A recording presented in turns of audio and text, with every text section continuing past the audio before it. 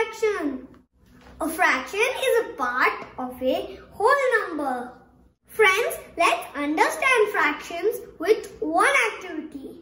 I have one chocolate as a whole. I have broken it into two parts. Each part represents 1 by 2. Friends, let's understand fractions with some pictures. These are the pictures. Should we do it? Yes! Let us solve it now. So, how many are this? So, let us count how many are there. 1, 2, 3, 4. So, the denominator will be 4. And how many are shaded? 1, 2. Oh, so the numerator will be 2.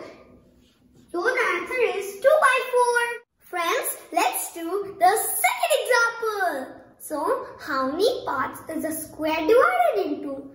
1, 2, 3, 4, 5. So, the denominator is 5. So, what will be the numerator? Friends, can you tell me? 1. So, the answer is 1 by 5. Look at the fraction 3 fourths. The number above the line is the numerator. It indicates the number of equal parts considered. The line is called fraction bar or division bar. The number below the fraction bar is called the denominator.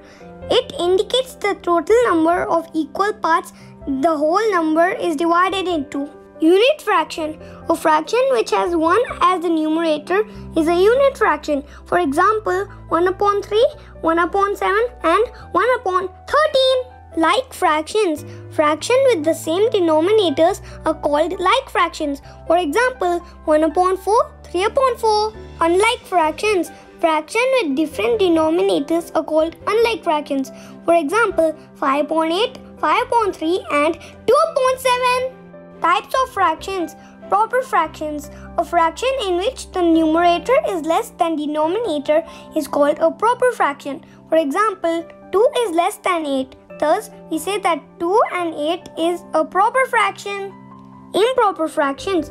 A fraction in which the numerator is greater than or equal to the denominator is called an improper fraction. For example, 5 is greater than 2. Thus, we say that 5 upon 2 is an improper fraction. 4 is equal to 4. Thus, we say that 4 fourths is an improper fraction. Mixed fractions. A mixed number is the sum of a natural number and a proper fraction.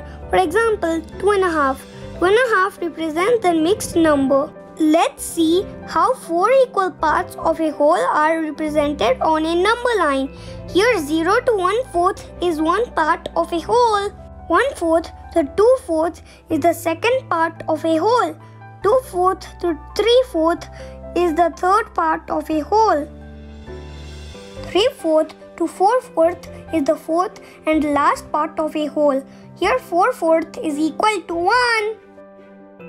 Friends, let's solve the first example. It is 3 by 4. But 4 is the denominator. So here are 4. So let us start writing.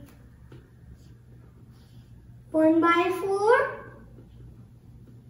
2 by 4. 3 by 4. 4 by 4. So where is the answer? Here. Friends, let us do the next example. It is 2 by 6. So 6 is the denominator. So 6 are here. Let us start writing. 1 by 6. 2 by 6. 3 by 6. 4 by 6. 5 by 6. 6 by 6. So where's the answer? It is hidden, right? So where is it? Here, right? So the answer is 2 by 6 right here. Friends, let's do the third example. It is 5 by 10. So we have to divide the number line into 10 equal parts. Let us start writing. 1 by 10, 2 by 10, 3 by 10, 4 by 10, 5 by 6 by 10, 7 by 10, 8 by 10, 9 by 10, 10 by 10. So, what is the answer? It is hidden, right guys? Let us see. Oh, the answer is here. Friends, let's solve fractions greater lesser than or equal to examples. So, let us see the example. 2 by 8, 1 by 4. So, we have to make the denominators equal. So, what do we do? Here is 1 by 4. So, we have to multiply 4 multiplied by 2 is equal to 8. So, again, we have to multiply 1 multiplied by 2 is equal to 2. So, 2 by 8. So, it is equal.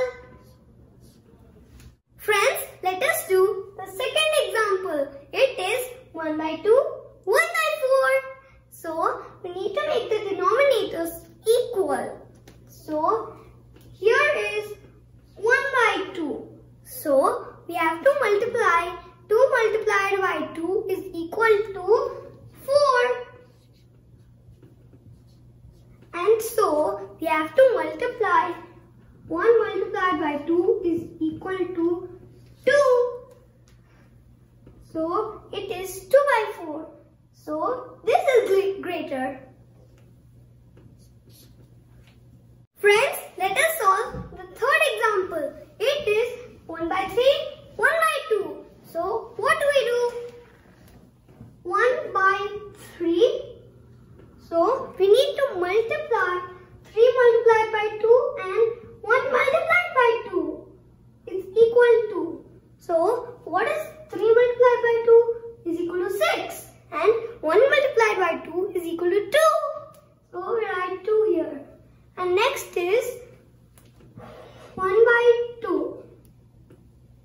So now we need to multiply 2 multiplied by 3 and 1 multiplied by 3 is equal to.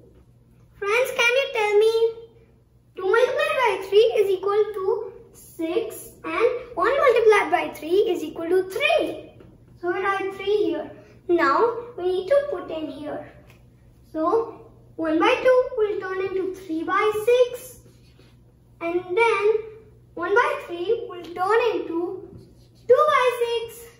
Now we can easily find which is greater, which is lesser. This is greater, this is lesser. Thank you for watching Nihaan's World. I'll see you next